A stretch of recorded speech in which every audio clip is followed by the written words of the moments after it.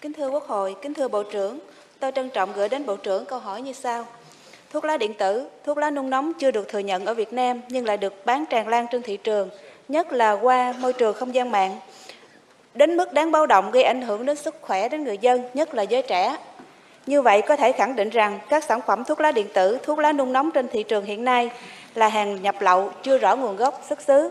Xin Bộ trưởng cho biết trách nhiệm quản lý nhà nước trong quản lý thị trường và cam kết của Bộ trưởng về vấn đề này. Tôi xin hết ý kiến, xin trân trọng cảm ơn Bộ trưởng. Cảm ơn đại biểu. Mời đại biểu Nguyễn Văn An chất vấn đại biểu Bộ trưởng Công Thương à, trả lời à, 6 đại biểu à, chất vấn. Bộ trưởng có thời gian là 15 phút. Sau Bộ trưởng Công Thương thì xin mời Bộ trưởng Bộ Tài chính.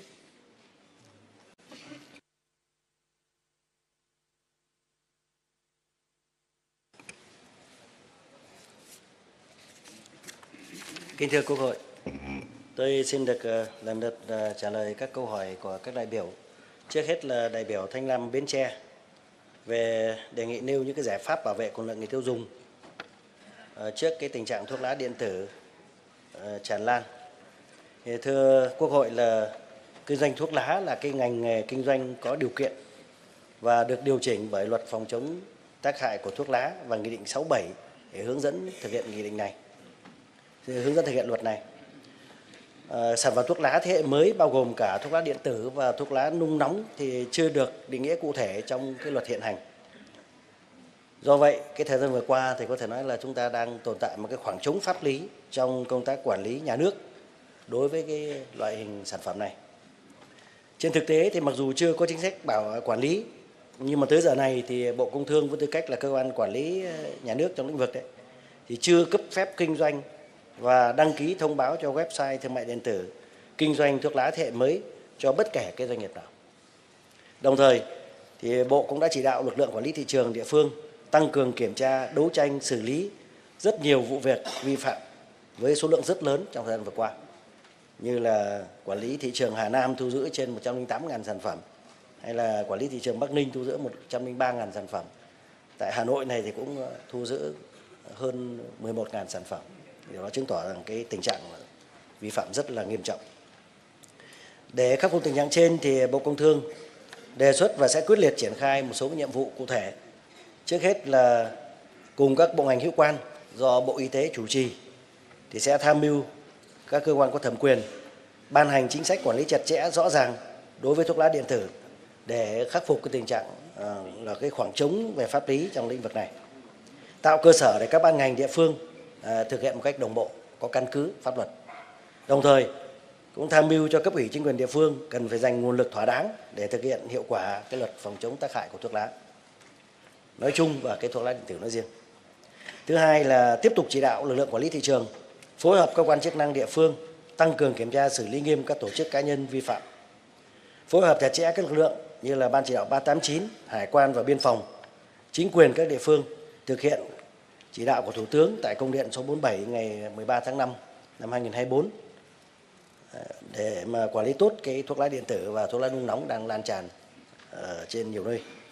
Ngoài ra thì cũng cần lưu ý là các vi phạm đối với thuốc lá truyền thống hay là thuốc lá thế hệ mới hiện nay thì chủ yếu là do nhập lậu. Và do vậy thì cái lực lượng chức năng của chúng ta thì cũng cần ngăn chặn ngay từ biên giới. Chứ còn khi vào đất liền rồi thì rõ ràng là cái việc quản lý nó cũng là cả một câu chuyện khó khăn. Thứ ba là phối hợp chặt chẽ Bộ Y tế Bộ Giáo dục, Bộ Thông tin Truyền thông tăng cường công tác thông tin giáo dục truyền thông về tác hại của thuốc lá điện tử, đặc biệt là đối với đối tượng yếu thế, đối tượng là trẻ em, học sinh. Có thể xem xét đưa vào chương trình giảng dạy trong nhà trường về tác hại của thuốc lá nói chung và thuốc lá thế hệ mới nói riêng, rồi những quy định cấm của pháp luật, những chế tài xử lý. Đặc biệt là cần phải huy động được sự tham gia của các lực lượng xã hội như là đoàn thanh niên, đội thiếu niên, gia đình, nhà trường, cộng đồng dân cư trong việc tuyên truyền giáo dục về tác hại thuốc lá và quản lý con em mình. Cuối cùng nữa là vẫn phải đề cao trách nhiệm của của chính quyền địa phương trong quản lý nhà nước à, trên địa bàn lãnh thổ. Bởi vì có lẽ không có cái gì là là, là là chính quyền cơ sở không nắm được, không biết được và không có trách nhiệm trong việc quản lý. Thì đó là những cái giải pháp rất là cơ bản để mà quản lý cái cái tình trạng thuốc lá tràn lan, thuốc lá điện tử thế thuốc lá thế hệ mới đang tràn lan hiện nay. Câu hỏi thứ hai của đại biểu Nguyễn Văn An ở Thái Bình đấy, thì ờ, hỏi rằng là cái cơ chế khuyến khích phát triển ngành công nghiệp hỗ trợ, công nghiệp cơ khí còn rất hạn chế thì đề nghị sắp tới có giải pháp gì? Thế là tình trạng cán bộ của ngành có hiện tượng nhũng nhiễu. Thì báo cáo với đại biểu là nhận thức rõ cái vai trò của công nghiệp hỗ trợ, công nghiệp cơ khí. Thì trong thời gian vừa qua thì bộ đã tham mưu cho cấp có thẩm quyền ban hành nhiều các quy định và triển khai thực hiện à, các giải pháp nên đạt được một số kết quả.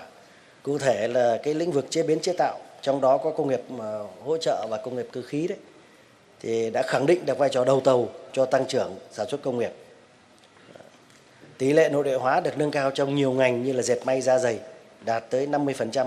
và cơ khí thì đạt tới hơn 30%. Công nghiệp hỗ trợ thì từng bước nâng cao trình độ tổ chức, sản xuất và nhiều doanh nghiệp thì đã trở thành nhà cung ứng cho các tập đoàn đa quốc gia tham gia vào mạng lưới sản xuất và cung ứng toàn cầu. Sự phát triển của lĩnh vực công nghiệp hỗ trợ thì cũng đã góp phần thu hút được các tập đoàn à, lớn của thế giới mở rộng nhà máy và hình thành các cái trung tâm R&D ở Việt Nam. Về công nghiệp cơ khí phục vụ sản xuất nông nghiệp thì trên 90% số máy trong nông nghiệp, nhất là máy xay sát lúa và đánh bóng gạo, máy sấy thì đã do các doanh nghiệp trong nước sản xuất và cung ứng, đồng thời cũng đã xuất khẩu đi rất nhiều cái thị trường khu vực ASEAN, châu Mỹ và châu Phi. Ngoài ra còn nhiều cái dây chuyền thiết bị trong cái việc chế biến à, các cái sản phẩm à, cây có hạt à, cũng có thương hiệu và đang được một số cái cái sản phẩm thì đang được cung ứng cho các cái nhà máy cơ khí nhất là sản xuất ô tô trong VinFast rồi là Thaco vân vân. Tuy nhiên cái việc triển khai các chính sách ưu đãi à, như tôi vừa nêu thì cũng còn rất nhiều hạn chế. Thứ nhất là cái nguồn lực đầu tư của nhà nước từ trung ương đến địa phương thì vừa là ít mà vừa rất là khó tiếp cận, nó bị trồng chéo với nhau. Một số cái điều kiện để hưởng ưu đãi trong quy định để khách ngặt nghèo chưa thật sự là phù hợp, khiến cho các doanh nghiệp là rất khó để mà tiếp cận đáp ứng được yêu cầu để hưởng chính sách. Thứ hai là chính sách thu hút FDI của chúng ta thì chưa chưa ràng buộc và cũng chưa khuyến khích để các doanh nghiệp FDI à, là tăng cái tính lan tỏa cho các doanh nghiệp ở trong nước. Thứ ba là các doanh nghiệp Việt thì chưa quan tâm và cũng chưa chủ động tìm hiểu, nắm bắt thông tin về các chính sách ưu đãi hỗ trợ. thì thực ra để đầu tư vào cái lĩnh vực công nghiệp hỗ trợ và công nghiệp cơ khí này thì là rất là, cần rất nhiều tiền. Và cũng cần phải có một cái trình độ ờ, công nghệ và có một cái kinh nghiệm nhất định thì mới dám bước vào một cái sới mà có thể nói là các nước, nhất là những nước phát triển, họ đã đi trước chúng ta rất xa. Rồi là việc phổ biến, tuyên truyền các chính sách ưu đãi đến cộng đồng doanh nghiệp thì vẫn còn nhiều hạn chế, chưa được thực hiện thường xuyên trên phạm vi rộng việc phối hợp thực hiện chính sách giữa trung ương, địa phương thì chưa thật hiệu quả. Ngành công nghiệp ờ, hỗ trợ công nghiệp cơ khí thì khó thu hút đầu tư bởi vì là cái tỷ suất lợi nhuận thì cũng thấp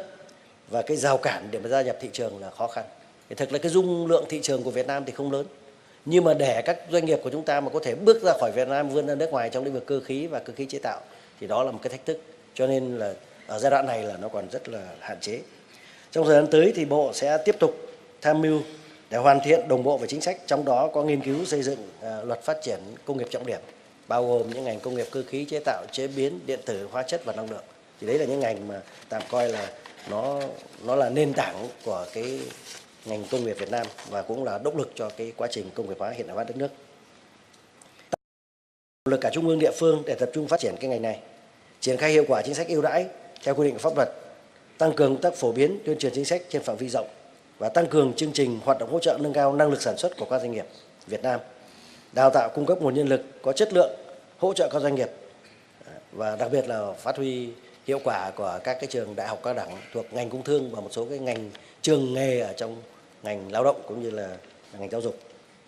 Thế còn à, đại biểu có nêu là việc xử lý thông tin về cán bộ nhũng nhiễu thì có thể nói là thời gian vừa qua thì công tác giải quyết thủ tục hành chính, xác nhận ưu đãi thì đã được thực hiện đúng theo các quy định pháp luật. Đồng thời Bộ thì cũng đã quan tâm đẩy mạnh chuyển đổi số và cải cách hành chính, nâng cao hiệu lực hiệu quả trong việc điều hành, thực thi pháp luật và cũng rất quyết liệt trong cái phòng chống tham nhũng, lãng phí và từng bước xây dựng cái bộ máy này hoạt động liêm chính ờ, và hoạt động hiệu quả phục vụ người dân. Tăng cường tiếp nhận và trả kết quả các thủ tục hành chính trên môi trường số ở cấp độ 4 như tôi báo cáo là 99% các cái thủ tục ờ, hành chính của Bộ Công Thương là đã áp dụng cái ờ, cái cái cái mạng và ở, ở toàn trình ở cấp độ 4 theo chỉ đạo của chính phủ. cho nên là là đã cải thiện một cách đáng kể trong cái việc giải quyết thủ tục này. Tuy nhiên đối với những cái thông tin mà báo chí nêu thì Bộ Công Thương đã và đang chỉ đạo đơn vị có liên quan, cụ cụ thể đây là Cục Công nghiệp Đấy, và cá nhân đang có cái quá trình là kiểm điểm và xem xét xử lý trách nhiệm theo quy định. Chúng tôi ờ, cam kết là không có bao che và cũng không có ờ, làm nhẹ cái trách nhiệm của những đối tượng vi phạm. Câu hỏi thứ ba của đại biểu Hồng Hạnh Khánh Hòa là cơ giới hóa cho nông nghiệp và công nghiệp chế biến nông lâm thủy sản ở Việt Nam và cái giải pháp trong thời gian tới thì đã sản xuất hàng loạt các cái máy gieo trồng và thu hoạch trên 90% số máy xay sát lúa đánh bóng gạo như đã báo cáo là chúng ta đã sản xuất được và phục vụ nhu cầu trong nước cũng như là xuất đi rất nhiều nước trong trên thế giới. Thứ hai là công nghiệp chế biến nông sản thực phẩm thì cũng đã bước đầu phát triển các dây chuyền thiết bị nông sản như cà phê, hạt điều do doanh nghiệp trong nước thiết kế, chế tạo thì cũng đã được ờ, sử dụng trong nước và xuất đi nhiều nơi, góp phần tăng giá trị xuất khẩu nông sản và cái giá trị tăng bình quân mỗi năm từ 8 đến 10%. Mặc dù vậy thì vẫn còn những cái hạn chế như là mức độ trang bị động lực phục vụ nông nghiệp thì của chúng ta còn còn thấp. Phần lớn các sản phẩm nông thủy sản của chúng ta chế biến được xuất khẩu là ở cái dạng thê, ở dạng thu. Nguyên nhân của các hạn chế này thì thấy rằng là ngoài cái lúa, việc tích tụ đất đai trong sản xuất nông nghiệp đối với các loại cây trồng thì chưa cao, diện tích canh tác thì còn phân tán nhỏ lẻ, khó áp dụng cơ giới hóa. Đây là một cái cản trở lớn để chúng ta thực hiện cái mục tiêu công nghiệp hóa hiện đại hóa cũng như là đáp ứng tiêu chuẩn về hàng hóa để mà xuất khẩu. Thứ hai là không canh tác thu hoạch thì chưa cung cấp đủ nguyên liệu để hình thành các mô hình sản xuất nông nghiệp quy mô lớn, đồng bộ từ sản xuất đến chế biến và tiêu thụ. Như vậy là chúng ta vùng trồng thì rất nhiều nhưng mà quy mô sản phẩm thì là rất nhỏ. Chất lượng thì không ổn định. Và thậm chí là doanh nghiệp hoạt động trong lĩnh vực này là thiếu chuyên nghiệp, vi phạm những cái quy định, những cái cam kết của chúng ta với thế giới và vừa rồi thì báo chí cũng đã nêu ví dụ trong xuất khẩu gạo chẳng hạn tự ý là giảm cái giá của mình thấp hơn so với cái giá của các cái đối tác nước ngoài cùng một loại chủng loại hàng hóa, thậm chí là thấp hơn so với lại cái giá thành ở trong nước. Thì đó là nó thể hiện một cái sự không chuyên nghiệp, chỉ là lo cái giải quyết cá nhân mình mà không nghĩ đến cái thương hiệu quốc gia, không nghĩ đến cái trách nhiệm đối với cộng đồng. Thì cái đó là cái mà mà là rất hạn chế mà chúng ta phải xem xét khắc phục. Thời gian tới thì bộ sẽ tham mưu chính phủ ờ, có cơ chế để tiếp tục khuyến khích tích tụ ờ, đất trong nông nghiệp theo pháp luật về đất đai và các quy định liên quan để có thể tạo ra những cái vùng trồng, vùng nuôi quy mô lớn đủ cái cái, cái số khối lượng sản phẩm để mà xuất khẩu. Thứ hai là áp dụng những cái công nghệ mới trong quá trình sản xuất để bảo đảm các tiêu chuẩn sản phẩm hàng hóa đáp ứng nhu cầu của các thị trường. Nâng cao hiệu quả chính sách khuyến công công nghiệp nông thôn để hỗ trợ đầu tư phát triển các cụm công nghiệp, khu công nghiệp chuyên biệt để phục vụ cho cái quá trình chuyển dịch trong khu vực nông nghiệp chúng ta. Tiếp tục nghiên cứu đề chế, đề xuất cái cơ chế ưu đãi để hỗ trợ các doanh nghiệp cơ khí, chế tạo ra những cái sản phẩm máy móc linh kiện và sản phẩm hỗ trợ nông nghiệp. Đương nhiên trong giai đoạn đầu mà chúng ta chưa làm được cái việc này thì chắc chắn là phải nhập những cái thiết bị máy móc của thế giới để có thể giúp chúng ta là nâng cao cái năng suất chất lượng của cái sản phẩm và đủ sức ờ, đáp ứng cái yêu cầu của thị trường. Câu hỏi thứ năm của đại biểu Xuân là về cái ờ, làm sao để khai thác hiệu quả FTA và làm sao để phát triển được cái ờ, nguồn nhân lực cũng như là hàng hóa có chất lượng. Thì chúng tôi nghĩ rằng là cái hội nhập kinh tế quốc tế thì nó đã và đang là một xu thế tất yếu rồi, không thể đảo ngược. Mà chúng ta thì là một trong những quốc gia mà thế giới người ta cũng đánh giá là hội nhập rất nhanh được chứng minh bằng cái sự tham gia vào các hiệp định thương mại tự do với 90% khu vực ờ, GDP của thế giới và hầu hết các nền kinh tế lớn. Tuy nhiên để mà khai thác hiệu quả các FTA này suy cho cùng thì vấn đề là con người. Phải có con người hiểu biết, có kỹ năng, có nghiệp vụ thực thi thì cái lợi ích ờ, nó phải thuộc về chúng ta. Chứ còn nếu không như cái giai đoạn vừa qua thì rõ ràng là cùng với cái yếu kém của doanh nghiệp Việt Nam trong cái hội nhập thì cái nguồn nhân lực giúp chúng ta trong cái lĩnh vực này từ khâu đàm phán đến cái khâu triển khai thực thi các hiệp định đều là rất là mỏng thì đó là một cái cái hỏng của chúng ta. Vì vậy trong thời gian tới thì chúng tôi đề nghị là mỗi ngành, mỗi địa phương thì cũng đều phải có một cái kế hoạch, có một cái chiến lược để mà tuyển dụng, đào tạo đào tạo lại cái đội ngũ cán bộ của mình, thạo về kỹ năng đàm phán và hiểu được các cái quy định của các, của pháp luật nói chung, nhất là pháp luật quốc tế cũng như là các hiệp định thương mại tự do. Ở đây thì có rất nhiều ngành có liên quan đến câu chuyện phải đàm phán ký kết, rồi là sau đàm phán ký kết là việc triển khai thực hiện thì nếu chúng ta không hiểu được nó thì cái đó là rất rất khó để cho thực hiện. Thứ hai nữa là chúng tôi cũng đề nghị là các trường trong hệ thống giáo dục quốc dân à, thuộc ngành giáo dục ấy, thì cũng cần có kế hoạch để mở những cái mã ngành rồi là có cái chương trình đào tạo chương trình tuyển sinh chương trình đào tạo à, để có được cái đội ngũ nhân lực à, đủ cái trình độ đáp ứng được yêu cầu hội nhập kinh tế quốc tế ngày càng sâu rộng của chúng ta. Chứ nếu mà không có được cái nguồn này thì khó cái thứ ba nữa là đối với trách nhiệm của ngành ấy, thì bộ sẽ tiếp tục uh, xây dựng những cái chương trình để bồi dưỡng tập huấn về kỹ năng nghiệp vụ cho cán bộ của các ngành các địa phương tham gia hội nhập Đấy, chúng tôi có tài liệu đăng ờ, trên ờ, cổng thông tin điện tử rồi có tài liệu in và tổ chức các cái lớp tập huấn định kỳ hàng quý và đặc biệt là tổ chức giao ban với các thương vụ nước ngoài để mà cập nhật những thông tin về những chính sách mới của các nước sở tại. Thế còn để hàng hóa có chất lượng tốt ờ, cho xuất khẩu đấy thì ờ, một trong yêu cầu quan trọng nhất là cần phải có quy hoạch vùng à, nhất là vùng sản xuất, vùng trồng, vùng nuôi. Thứ hai là phải áp dụng được công nghệ trong quá trình. Đấy. Và thứ ba là là là phải hợp tác với các cái đối tác của nước ngoài, nhất là ở những cái giai đoạn đầu để chúng ta có thể tiếp cận được với các thị trường cũng như là tiếp cận được cái tiêu chuẩn trong quá trình sản xuất chế biến sản phẩm để xuất khẩu. Ý kiến cuối cùng của đại biểu Quang Huân là làm thế nào để có một cái chính sách toàn diện trong phát triển công nghiệp? Thì chúng tôi nghĩ rằng trong thời gian tới thì ngành công thương sẽ hoàn thiện, tiếp tục tham mưu để hoàn thiện thể chế. Mà điển hình là đang tích cực ờ, hoàn thiện cái dự thảo luật ờ, phát triển công nghiệp trọng điểm, chú trọng phát triển công nghiệp theo chiều sâu, tạo bước đột phá trong nâng cao năng suất chất lượng hiệu quả trưởng là đại biểu ờ, quân á, là hỏi về cái phát triển toàn diện công nghiệp phụ trợ ờ, chứ ờ, không phải toàn viện toàn diện về lĩnh vực công nghiệp Dạ, bộ trưởng thưa- thưa Chủ tịch là- thẳng vào trả lời Vâng. hai phút cái vấn đề này Vâng. Cái, cái phụ trợ là anh ấy dẫn để dẫn thôi, cho cuối cùng ông hỏi là bây giờ làm sao để mà phát triển toàn diện ngành công nghiệp Việt Nam. Thì em xin được lý giải là cái việc đầu tiên là phải tham mưu để ban hành được cái luật phát triển công nghiệp trọng điểm. Đấy, thì cái từ cái ngành trong công nghiệp trọng điểm này thì nó sẽ chi phối được các ngành khác. Thứ hai là tận dụng tối đa cái thời kỳ cơ cấu dân số vàng,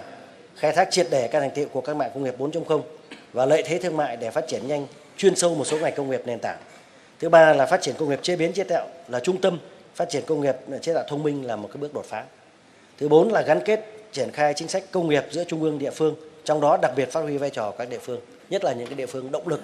trong kinh tế của đất nước. Thứ năm là bảo vệ và mở rộng thị trường trong nước, khai thác tối đa thị trường xuất khẩu từ các hiệp định thương mại tự do. Và cuối cùng là tập trung hỗ trợ hệ thống doanh nghiệp công nghiệp trong nước, đặc biệt là các doanh nghiệp công nghiệp lớn có tiềm năng và hệ thống doanh nghiệp nhỏ đang chiếm một tỷ trọng lớn để có thể cùng tham gia hội nhập và khai thác những lợi thế này. Tôi xin ý kiến.